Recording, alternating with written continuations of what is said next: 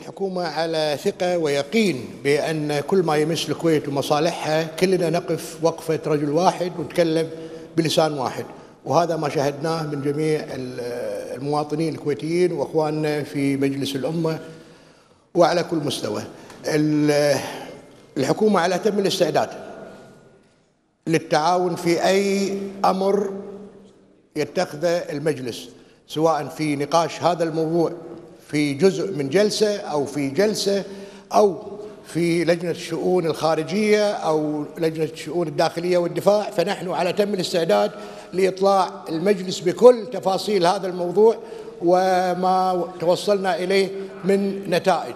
فالأمر يعني آه، اللي نود أن نؤكده بأن على اتم الاستعداد للتعاون في أي مقترح يوافق عليه المجلس الموقر.